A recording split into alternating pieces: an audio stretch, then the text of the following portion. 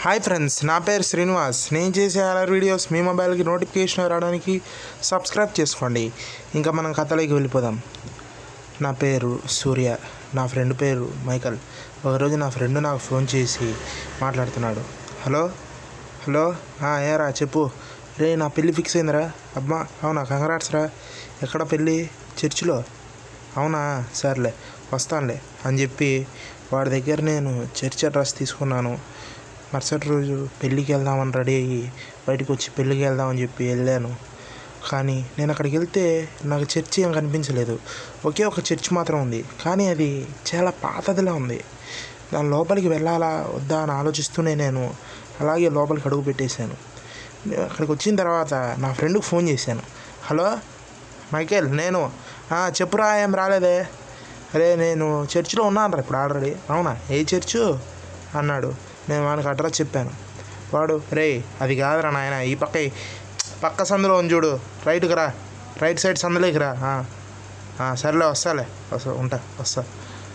అని నేను బయటికి వెళ్దామని చెప్పి కిటికీ దగ్గరికి వెళ్ళాను.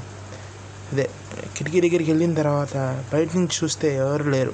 సరే వెళ్ళిపోదాం కదా అని చెప్పి తలుపు దగ్గరికి వెళ్తే తలుపు క్లోజ్ చేసింది.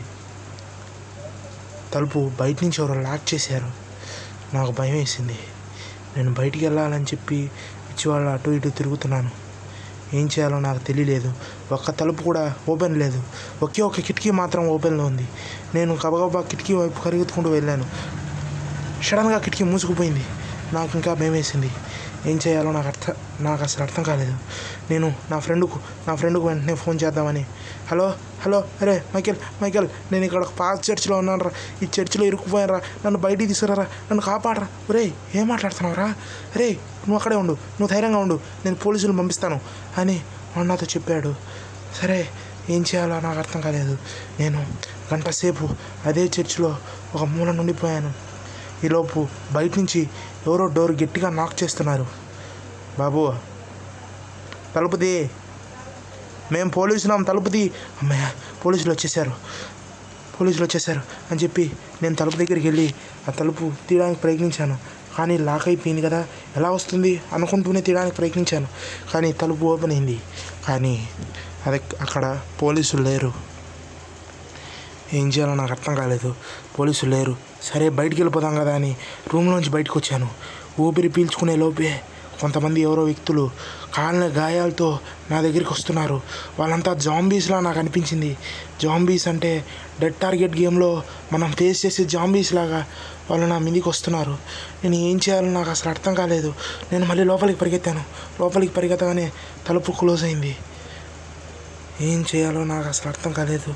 నాకు పిచ్చెక్కిపోయింది ఎక్కడి నుంచి ఎక్కడి నుంచి బయటపడాలో అసలు ఎలా బయటికి రావాలో అసలు నేను ప్రాణాలతో ఉంటానో లేదో నాకు అసలు తెలియలేదు. నన్ను కాపాడే వాళ్ళు ఎవరు? నేనేం చేయాలి అని ఆలోచిస్తూ ఉన్నాను.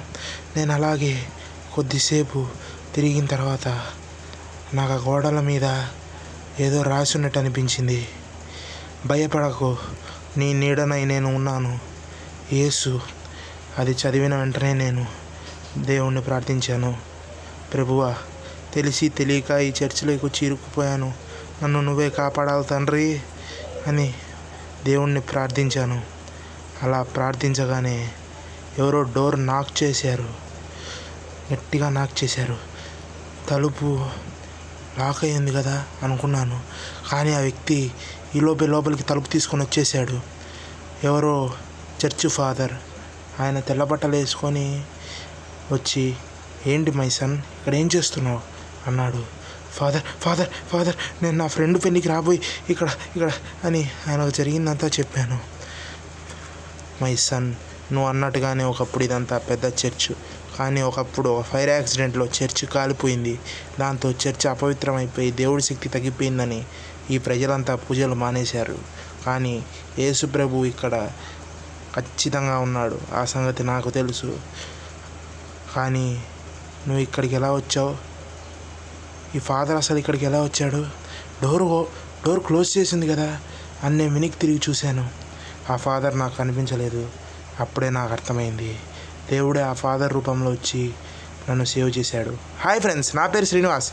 నేను చేసే ఆర్ఆర్ వీడియోస్ మీ మొబైల్ నోటిఫికేషన్ రావడానికి